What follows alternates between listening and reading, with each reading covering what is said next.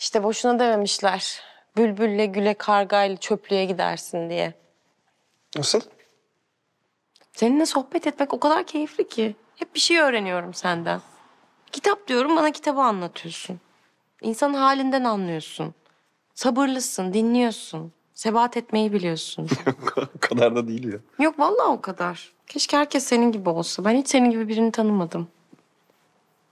Yani yıllarımı verdiğim ve çocuklarımın babası olan adamla ben bir kere bile oturup böyle derin muhabbet edemedim.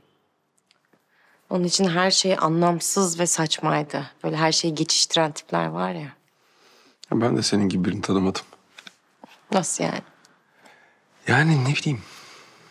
Ya hayatı hiç ya hay- hayatının sahip olduğu şeyleri bu kadar kabul edebilen, şükredebilen, seven, ya böyle tökezlesen de tökezlese de böyle hiç vazgeçmeyen birini ben çok uzun süredir hiç görmemiştim. Teşekkür ederim. Ben geçmişte yaşadığım şeyleri düşünmeyi seviyorum. Yani bazen geçmişi böyle derinlemesine düşünmeyi, yaşanmışlıklarımı, hatıralarım bana güç veriyor. Geçmişi unutmamak lazım tabii. Mesela benim hayatımda birkaç tane milat var. Çocuklarımı kucağıma aldığım ilk an. Her biri o kadar kıymetli ki benim için. Çünkü biz doğduğumuz zaman aslında o anı hatırlamıyoruz ya ama bir anne o anı asla unutmuyor.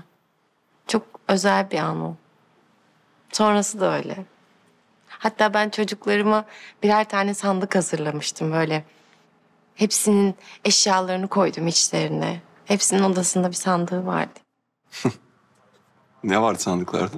Sandıkların içinde eee, neler var? Mesela ilk zıbınları var. O giydikleri kıyafete zıbın deniyor. İlk zıbınları var. Eee ilk çorapları var. İlk adım attıkları ayakkabıları var. Diş kaşıyıcıları var, emzikleri var, doğum sertifikaları var. Bir sürü güzel şey var. Ben anne olmayı çok sevdim. Ve beni anne yapan da onlar. Ve bunu görmelerini istedim. Çok güzel bir şey benim için bu. Bilmiyorum belki biraz delice ama biriktirdim işte bir sürü şey. Bence hiç delice falan değil. Anneler saklar. Benim annem de saklardı. Ama bizde sandık falan yoktu tabii.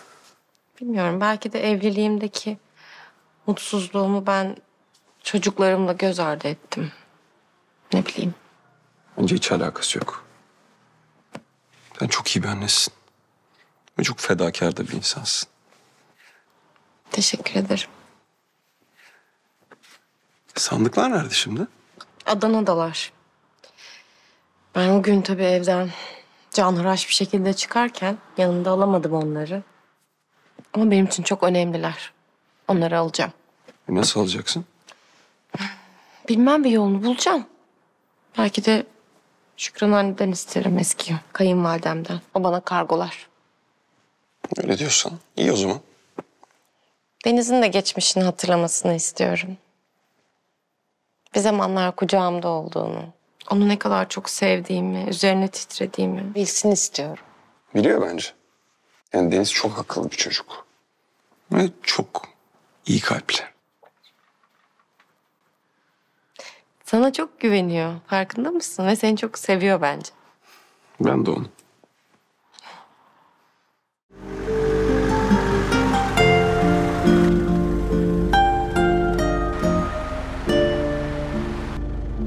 Abim bildiğin iş yapıyor. Yandık. Sana garip gelmiyor mu şu an bunu yapmak? Yok. Aa, daha bir sürü işi var. Göremiyorum. Hayır. Ha bir tane mavi kalmış burada. Evet.